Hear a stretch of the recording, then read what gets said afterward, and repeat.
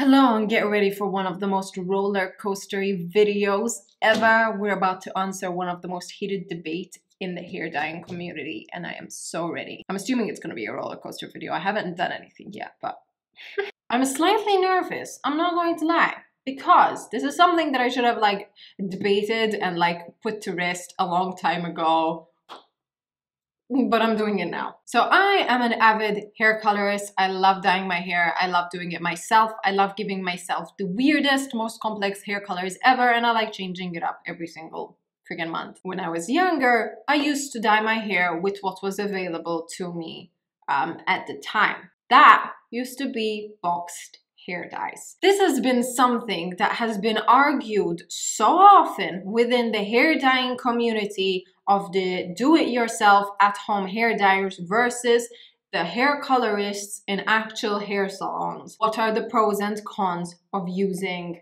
boxed hair dyes available at supermarkets versus salon grade dyes. We're going to figure this all out today because today I'm going to be dyeing my hair with boxed hair dye. I'm so nervous, but I'm so ready for this.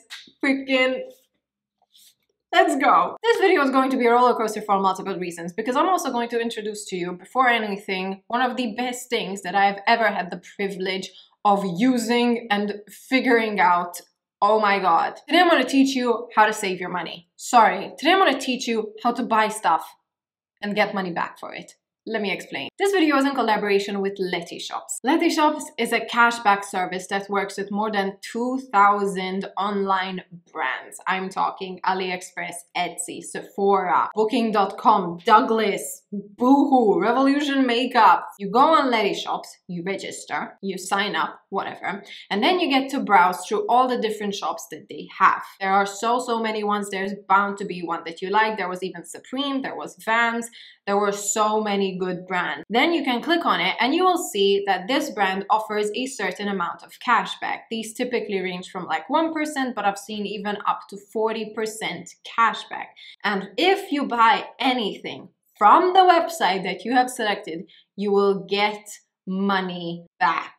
why didn't I know of this before? Oh my freaking god. It is really, really easy to set up. The cashback is applied almost instantly and you can opt for a payout as soon as you want through PayPal. It is so easy. It is so efficient. I am so happy I discovered this. Oh my freaking god. I'll put a link to it down below in the event that you want to check it out. Please do so if you're an online shopper, if you love shopping online. This is going to be freaking amazing for you. So I actually got dyes from two different websites, lookfantastic.com and lifeandlooks.com. Both of them offer cashback. I got cashback for both of them. I am going to opt for this color today because I think it's a really, really gorgeous color from lifeandlooks.com. It is by Schwarzkopf. It's a pure purple 086. But Stella, you're not going to put anything to rest because this is going to look good probably in any way, shape, or form. It's meant to look like that. It will be great if we can compare it to salon grade dyes. You are right. I am going to take this hair dyeing experiment one step further by dyeing half my hair with this box dye Schwarzkopf color and the other half of my hair with Schwarzkopf salon grade dyes. Both of them are going to be Schwarzkopf, so I'm going to keep this really, really fair and we are going to put to rest whether box dyes really are as bad as people say or whether they can pass a salon grade dyes. I'm not really going to be comparing actual colors because I do not have too much faith in my color matching, I'll be really honest. I am going to be judging how the color looks, if it looks like it's already faded, what the color payout is like, if the hair feels silkier or rougher, what the texture is like, stuff like that. This right here, which is the box dye, cost me 6 euros and 35 cents. That was before shipping but it's a pretty cheap price. Obviously, this is the dye a developer and also a conditioner inside. In comparison to salon grade dyes, they are considerably more expensive. This is what a salon grade tube of Schwarzkopf dye looks like. This is what the box dye looks like. As you can see, they're the same size, but this on its own costs from 6 to 9 euros quite expensive and that's not even looking at the cost of developer. I forgot how much this cost. I'm assuming it was over 10 euros. Really cannot remember. If we multiply that by however many tubes we're gonna need we're looking at a considerably pricier dye so the first thing i have to do is figure out what the hell color to compare it to. Let's see if we can figure out what this um, actually means on the color chart. This just says 086. There's no such thing over here. There's an 089. This isn't even a dye, it's a booster. Wait, actually no, it's quite similar. Holy hell. But this is just a booster. I'm still going to need a base and an actual color that I can boost the color with. 7982. Is that a good color? Too dark? These three colors all look exactly the same. But this is 089, this is 7982, and this is 998, but they all look exactly the same. I don't know how bright this is going to be, so I don't know if it needs a booster. It doesn't look purple to me, this looks burgundy.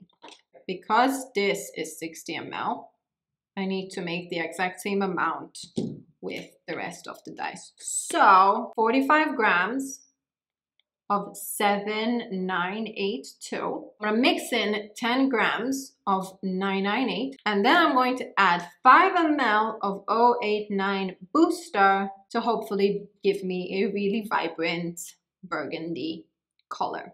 I'm gonna use 20 volume developer for this one and we're gonna leave it on for the same time. I'm going to very quickly mix it up and then figure it out.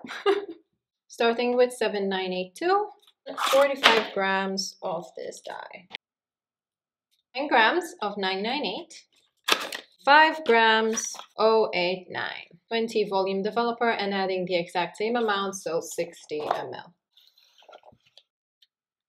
Next up, this bad boy. Now that you're actually meant to mix it up in here, just literally give it a shake, but I've got decency and I've got honor I'm no way in hell doing that. Well, in this case, you don't need to measure anything. Same thing with this. We're gonna mix this in here and we're gonna give this a mix as well. This one looks more pink, this one looks more purple, so I think I actually screwed up the color concoction a bit. But we're going to see what this thing actually results in. As you can see, the colors are already looking different. This is the box dye. This is the not box dye and it is looking more pink. Ooh, I am so scandalous. I'm wearing literally nothing but this. Next thing we most definitely have to do, barrier cream. Use something, use Vaseline, use freaking butter. I don't care. This thing is most probably going to stain all of our skin. Try avoid that from beforehand. Great, now I've got a shiny forehead. So nervous. Okay, um, I am using the box dye on the right side of my face and the salon grade dyes on the left side of my face.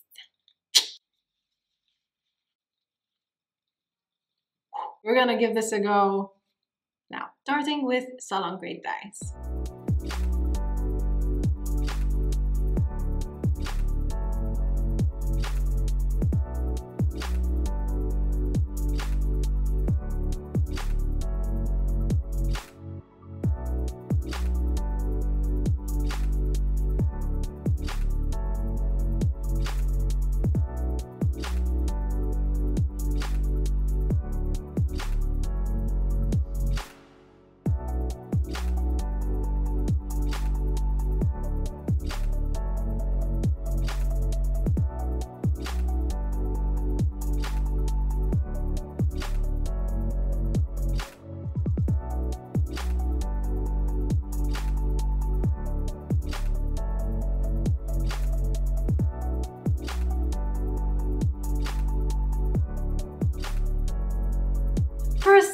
Done. This is the side of the salon grade hair dyes. Now I'm going to do the other side. My hair is shedding like crazy this time of the year.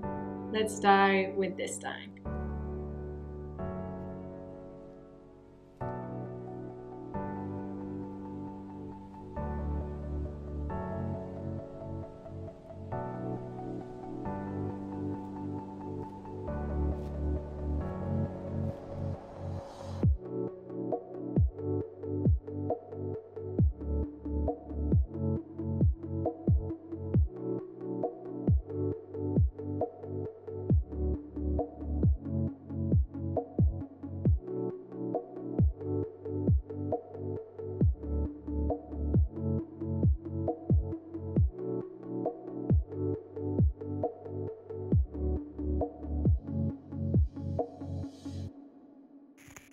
I've just finished the, oh, well, the massacre, it looks like. Jesus Christ, Stella, what the? This is why you wear a t-shirt. I thought I really messed up with the color. I'll be really, really honest. I mean, even when you look at freaking these, you can see that there's a drastic difference in how they look. They look freaking the same on my head. I've actually just run out completely of the box dye and I just managed to do half my head. So if your hair is as thick as mine, you'll definitely need two. And if your hair is way longer than mine, you'll probably need around three or four to completely cover your hair. So just keep that in mind. I will show you what it looks like uh, soon. Okay, bye! Hello, I am back this looks the same to me. Like obviously it might completely change color once I try it, but this looks, these look identical. Only tiny difference I'm seeing is that this has a slightly bluer hint. This is more pink. I'm going to dry it, style it, and then I'm gonna be back to show you the completely finished result. We'll see. I'll see you tomorrow. Also, I ruined my nails. Now they they look so stupid. Bye! Did someone say October? Because I did. Welcome to Dark Haired Stella. I haven't worn an updo in so freaking long and I especially haven't had anything with volume in my hair for so long. So, let's explain the end result. This is what I was left with, okay? I dyed it, I washed it, I completely let it air dry, I styled it. I am so shocked. The one tiny difference that there is between both sides is that in my opinion, this one seems to have a bit more of a purple tinge and this is the box dye version. And this one seems to have a slight more pink tinge. Why? It looks right off the back, I'm gonna say, I love this color. I've gotten this color so many times. I think it's splendid. I think it's amazing. The money piece adds a bit of a pop because this was obviously bleached and this was natural. The color it took on different levels. It's, it's how hair works. It is very similar in terms of color Both were pretty easy to apply. I would personally never recommend using the applicator that comes in a salon dye. I don't think it makes anyone's life easier. If you have a bowl and a brush, please use them. It'll make your life so much easier. They both felt the same in terms of quality. It didn't feel like either made my hair feel better or worse. I know that obviously salon grade dyes typically tend to have a lot more beneficial ingredients. They have aloe vera, they have keratin, they have Moroccan oil. A lot of these ones typically do not, in my opinion, because I dye my hair so much and my hair at this point is probably so dead and damaged anyways, I could not feel a difference between both sides. Like even my roots are quite lush. One doesn't have more shine than the other if I didn't know any better, I would say that both were dyed with one or the other. Actually, I'd say that it was done at a salon, but that's just me. One thing I will mention is I am someone who likes to have a lot and a lot of creative freedom. I like to have the individual colors that I can tweak and design to my liking. Obviously, when you're getting a box dye, that is literally what you're stuck with. You're gonna need to buy three, four, five different box dyes to get a custom color for yourself. What is my final verdict on this whole debate? Because it went very well for me this time does not mean that I am endorsing one or the other.